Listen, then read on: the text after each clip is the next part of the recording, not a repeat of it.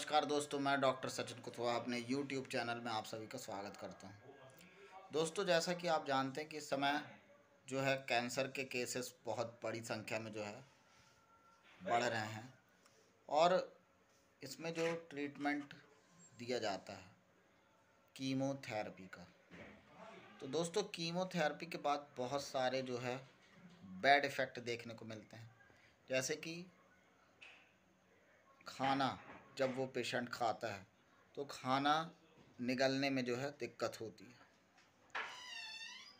इसके अलावा दोस्तों, जी मिचलाना और भी कई जो है समस्याएँ होती हैं।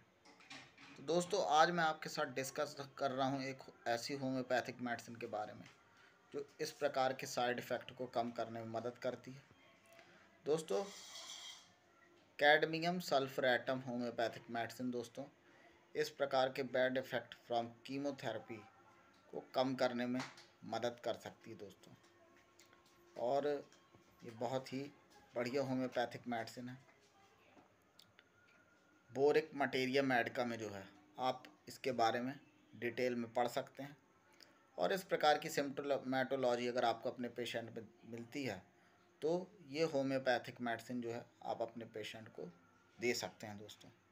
दोस्तों, cadmium sulphuratum homeopathic medicine, chemotherapy के केसेस में बहुत बढ़िया काम कर सकती है।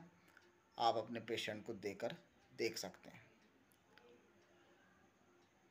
ये दवा हमें किसी डॉक्टर के ही मार्गदर्शन में लेनी है। ये वीडियो जो है, एजुकेशनल पर्पज़ से ये दवा आप किसी डॉक्टर के गाइडेंस में ही लें दोस्तों। आज का वीडियो आपको कैसा लगा?